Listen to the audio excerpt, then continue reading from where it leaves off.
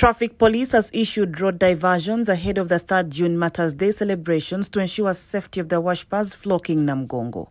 According to a statement issued by Patrick Onyango, since yesterday, the road from Kyaliwajala to Sonde was reserved for pedestrians only and all motorists were diverted as follows. Motorists using Seeta to Sonde Road will be diverted at Catholic Mbarara Junction and they will come out at Agenda 2000. Motorists from Nalya to Kyaliwajala will be diverted at Kyaliwajala Junction and they will use Semambo Road.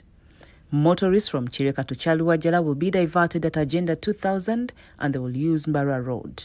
Motorists from Jinja heading to the capital city should drive direct to the city center.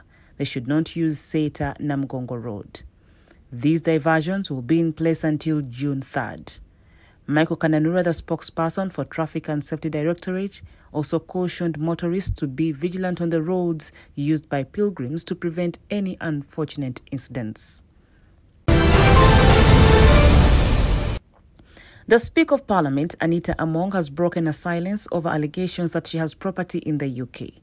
In a statement shared on her X account, Among said she is glad President Yoweri Museveni has given attention to the matter and chosen to seek the truth through formal diplomatic channels. This followed a letter from President Yoweri Museveni on Thursday last week, written to the Speaker seeking an explanation of her claims that she owns property in the UK. Museveni's letter came after the UK embassy in Uganda reportedly shared details of the property which they claimed was owned by Among. He directed the Speaker of Foreign Affairs to conduct and get the details regarding this house.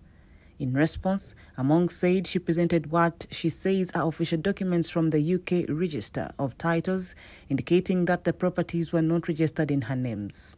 An online search carried out by the New Vision indicates that the property in question was registered in the names of Places for People Homes Limited.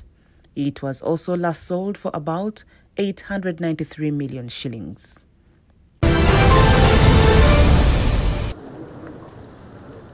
And in foreign news, Chinese President Xi Jinping has called for a peace conference on the war between Israel and Hamas as he addressed Arab leaders at a forum aimed at bolstering ties with the region.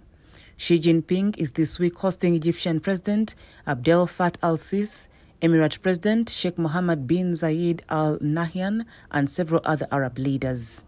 He pointed to the Middle East as a key node in his Belt and Road Infrastructure Initiative, a central pillar for Xi's bid to expand his country's clout overseas. Addressing the delegates, the Chinese president expressed support for a broad based peace conference to resolve the Israel Hamas conflict. Speaking after Xi Jinping, Egypt's Sisi urged the international community to ensure Palestinians in the Gaza Strip are not displaced from their war ravaged territory. He also called for the international community to stop any attempt at forcing Palestinians to forcibly flee their land.